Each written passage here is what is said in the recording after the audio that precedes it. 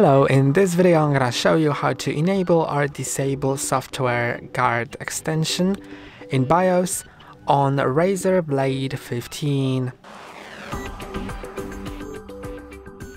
To do it, use the right arrow to get to advanced page in BIOS, which if you don't know how to enter, there is a video on our channel on how to enter BIOS uh, on Razer Blade 15. And once that's done, uh, in the advanced tab, find CPU configuration, you can use up and down arrows and when CPU configuration is highlighted, click on enter to enter it, then find software guard extensions and click on enter and now you can set it to disabled, um, enabled or software controlled. That's all for today, don't forget to like and subscribe, see you next time.